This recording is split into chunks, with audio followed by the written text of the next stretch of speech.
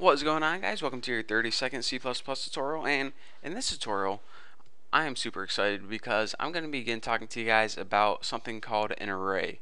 So an array is basically one of my favorite parts of C++ because an array is basically a variable that can store multiple values and you can do a bunch of cool things with them and uh, like I said it's one of my favorite parts dealing with C++.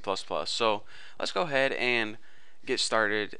Like I said an array is basically a lot like a variable, but instead of just storing one value like 8 or 20 or you know 87 it can store multiple values. So if you're saying alright that's kind of weird but let me go ahead and show you guys how to make one. In order to make an array you first write what data type you're working with. Let's go ahead and make a simple integer array. Next just like a variable you type something you want to call it. I'm gonna call my array Bucky because it's a pretty cool name and now, right after this, with no space, in square brackets, you go ahead and you write how many numbers, in this case, how many integers, do you want to store in your array. So let's go ahead and say 5.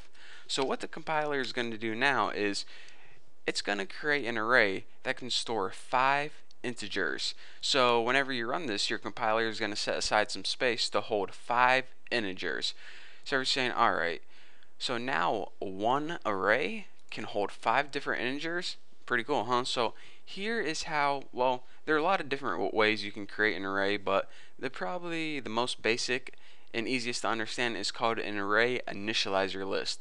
And an array initializer list is basically just a list of numbers. And you have to put it in between these uh, squiggly brackets. I don't know the technical name for them, but they're above the square brackets on your keyboard and in between it you write a comma separated list of five numbers. So let's go ahead and print out like um, 66 75 2 43 and 99 and that is basically all it is to create an array. So we went ahead and we created an array called Bucky and Bucky was able to hold five integers and whenever we gave it its five integers we had to put it inside something called an array initializer list so we have 5 integers 66, 75, 2, 43, 9, 99. So now, whenever we want to use those values, you're saying, alright, say I wanted to print out one of these values like 2 or something. So let's go ahead and see out um, Bucky.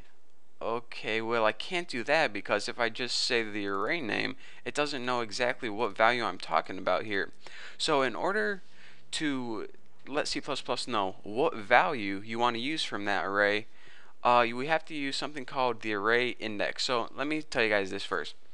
When I said an array is made up of a bunch of different values, the technical term whenever you're working with array is called elements. And all they are is values, but you know, we have to be professional here, so we're going to call them array elements. So 66 is one element, 75 is one element, 2 is an element, so on and so forth.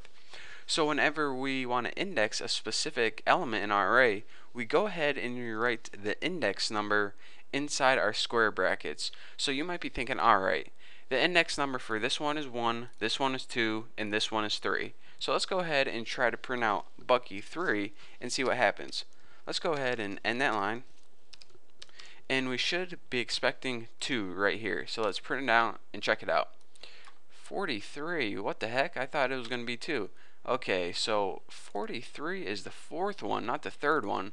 So what's going on, Bucky?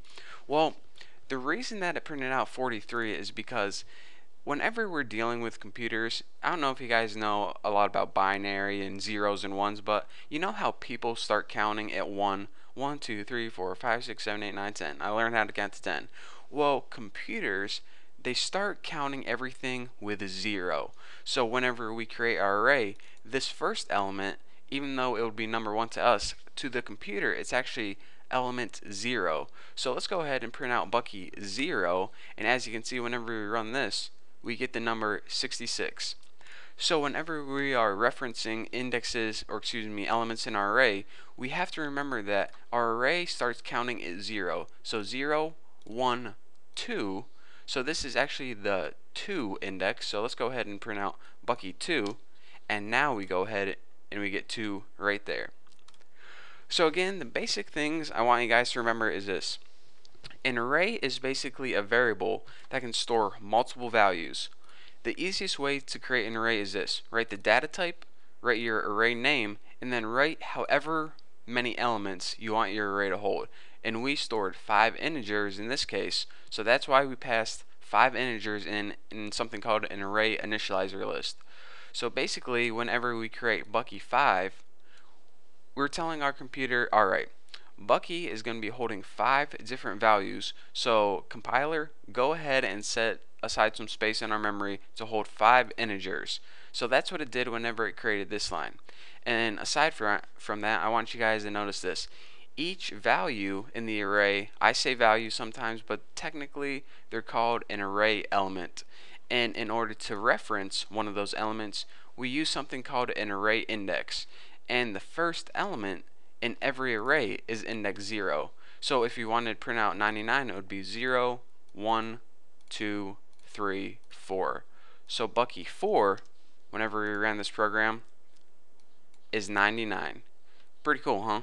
So that's basically the most simple way I can explain arrays to you guys. Again, I said that one way to create an array was to use an array initializer list. In the next tutorial, I'm going to show you guys a different way to create an array, and it's a lot cooler way. So if you don't quite understand arrays yet and don't quite understand why they would be useful, then just stick around and uh, I trust me. What I say, I trust me. Of course, I trust myself, and trust me, you guys will in the upcoming tutorial. So again, thank you guys so much for watching, and I will see you in the next tutorial.